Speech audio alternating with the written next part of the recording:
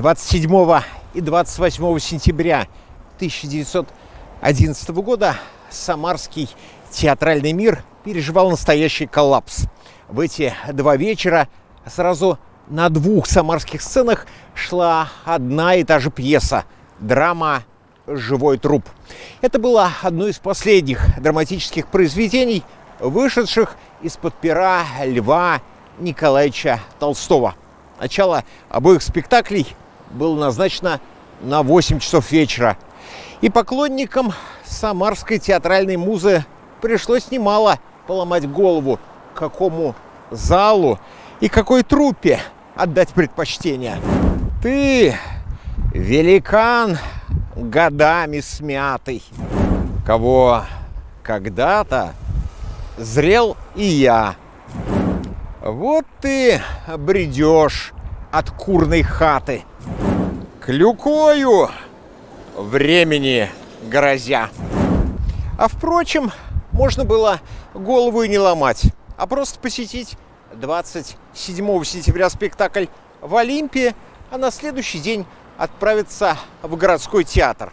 Так, например, и сделал рецензент самарской газеты «Для всех», который сначала посетил олимпийское зрелище, а на следующий день спектакль в городском театре.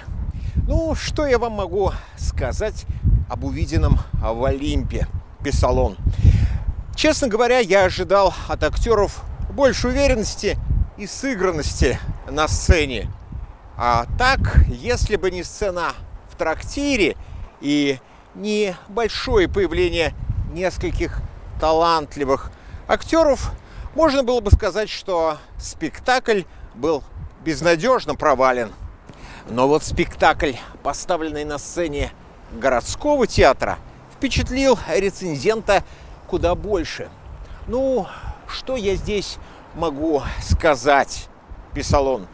Сама пьеса кажется отрывочной, интрига ее мала, развитой, и даже язык местами грамматически неправильным. Но выходишь из театра подавленный и размышляющий. Осень 1911 года выдалась в Самаре не совсем теплой. Часто шли дожди, поднимался ветер. Извозчики у крыльца театра цирка «Олимп» и возле городского театра покрикивали на своих сивок-бурок. А сивки-бурки нервно переступали с ноги на ногу. Но и в том, и в другом театрах в эти два вечера было жарко. Там спорили, восхищались, разочаровывались, но самое главное, думали над тем, о чем с самарцами разговаривал Лев Толстой языком театра. А были в 1911 году среди самарской театральной публики и те, кто не только размышлял над сценическими образами, но и вспоминал самого автора пьесы. Да, в 1911 году в Самаре еще жили те, кто лично знал Льва Толстого, кто встречался с ним, переписывался, просил у него совета, и те, кому он, Лев Николаевич Толстой, не однажды приходил на помощь. Кажется, еще совсем недавно самарцы, как и еще многие другие россияне, и не только они, поздравляли его, Льва Николаевича Толстого, с юбилеем. Самарское общество народных университетов и газета «Волжское слово», городской голова и Самарская городская дума, поздравительные адреса и телеграммы, личные письма и письма от групп и обществ – Дорогой Лев Николаевич, приносим вам глубокую признательность и благодарность и горячо приветствуем вас в день вашего рождения за правду и свет, который вы разносили по целому миру, за борьбу с властью тьмы, которая мучила несчастный народ. Да хранит вас Господь. Но были среди самарцев и те, кто долгое время даже не догадывался, что судьба однажды свела их с тем самым графом Толстым. Было раннее утро. Пароход шел быстрее обыкновенного, оставляя за собой густые черные клочья дыма. Впереди лежало широкое блестящее поле Волги, а справа и слева синели берега, задымленные пароходными парами. И хоть было еще совсем рано, но пассажир, ехавший на Кумыс в Заволжье, стоял на палубе. А все дело в том, что он никогда до этого не видел верхнего течения Волги. Поэтому и взял билет от Твери до Самары. И целыми днями то ходил по палубе, то останавливался, то вдруг подходил к самому борту и всматривался в молчаливые берега и белые паруса облаков, которые плыли высоко в небе. В полдень пароход подошел к пристани, рванул чалки, задрожал и остановился. Возле берега к Волге липли ветхие деревянные домишки, а за ними простирались сады и огороды с уходящими вдаль дорожками. Казалось, что вся набережная опрокинулась в реку. Сойдя по длинным, скрипящим сходням с палубы, кумысник прогулялся по берегу, подошел к дымящемуся костру, снял фуражку и поклонился. «Хлеб-соль, мужички! Хлеб-соль! Едим, да свой!» Сейчас же откликнулся один из тех, кто сидел у костра, рыжебородый мужик. А ты-то, видать, не нашинский будешь. Тульский я. Твоя правда, отвечал кумысник на этот вопрос рыбака. Ах, Тульский, это там, где огурцом телку резали. Ха, ну что ж, вы, тулики, нашей волжской рыбы не видали и ушицы не пробовали. Садись, про слово. Ложка есть, а ухи не жалко. Рыбаки приветливо подвинулись в разные стороны, приглашая незнакомца отведать их волжской ушицы.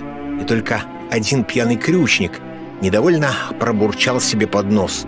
«Ишь, нашли кого ухой кормить. Видно, сову по полету, а чертовы ножки, видать, из-под одежки. Шаромыг он, туляк этот». Правда, больше он ничего не сказал. Его товарищи сердито на него цыкнули и принялись дальше нахваливать свою ушицу. Так сидел кумысник с рыбаками у костерка, похлебал ложкой их ушицы, откланялся и ушел. А минут через десять или через пятнадцать подбежал к костру его отставший спутник. «Слышь, мужики, а где граф-то?» «Чего-чего?» — ухмыльнулся Рыжебородый. «Какой такой граф? Ну, сейчас с вами здесь сидел. Куда он ушел, его сиятельство?» «Ишь ты!» — сказал озадаченный рыбак. «Граф, а я ему тулики, телку, огурцом резали». Покряхтели волгари, смеялись, а те, чтоб смелее, пошли на пристань, чтоб еще раз глянуть на графа и при случае извиниться перед ним за такой неказистый разговор. Пришли, смотрят, стоит граф, наблюдает за работой грузчиков. «Счастливого плавания, ваше сиятельство!» — поклонился кумыснику рыжебородый мужик. «Вы уж Извините нас, коли что не так сказали. Да ничего, ничего, ответил кумысник, догадавшийся, что мужики прознали, кто он такой. Жаль, недолго побеседовать с вами пришлось. А за ушицу спасибо. На этих словах пароход начал отчаливать от пристани, и пассажиры стали расходиться по каютам. И только кумысник еще долго стоял на палубе, чесал затылок и говорил сам себе, «Ишь ты, шаромыгой меня назвали. Так меня никто еще не называл. Видать, похож я на шаромыгу-то». Да, было и такое. Шаромыга, дескать. Шаромыга и есть. Но с тех пор прошел не один год. И вот осенью 1910 года Самара сначала напряженно следила вместе с другими россиянами за тревожной хроникой ухода Льва Толстого, покинувшего свой дом и отправившегося из него, куда глаза глядят, а потом читала в газетах сводки об ухудшившемся состоянии здоровья великого старца. День ото дня эти сводки становились все тревожнее и тревожнее. Мир затаил дыхание и ждал, удастся ли Толстому победить недуг. В ноябре 1910 года случилось непоправимое. Да, кажется, что еще совсем недавно Толстой, бывая в Самаре, ходил вот по этим самарским улицам, писал телеграммы и письма, адресованные в самарские дома, и встречался с самарцами в своем имении восточнее Самары и в другом имении, в Ясной Поляне. Еще совсем недавно он здесь бывал, а вот теперь возвращался в Самару театральными афишами и постановками на театральных сценах. Уже в октябре 1911 года самарские газеты на перебой анонсировали спектакль «Катюша Маслова» по роману Льва Толстого «Воскресенье». Представляли этот спектакль на сцене городского театра и ждали от него очень многого. Ждали, но, увы, не дождались. Спектакль почти единодушно был признан неудачным. Диалоги были вялыми, а действие едва-едва развивалось. Спасли ситуацию только имя Толстого, значительность сюжета и хорошая игра артистов труппы Образцова. Писал на этот раз рецензент. Может показаться, что этого не так уж и мало, хотя, разумеется, Самара достойна большего. И снова самарские извозчики до глубокой ночи развозили вот по этим улицам седаков, которые были погружены в себя, думая над вопросами, поставленными перед ними Львом Толстым. И снова одни кричали на своих сибок-бурок, стараясь хоть так согреться и не зябнуть совсем, пока не довезут до квартир своих седаков. А последние снова и снова думали над проблемами, которые поставил великий старец. Да давит каменное бремя наш мимолетной жизни сон. Обрушь его в иное племя, во тьму иных глухих времен. С вами был Михаил Перепелкин.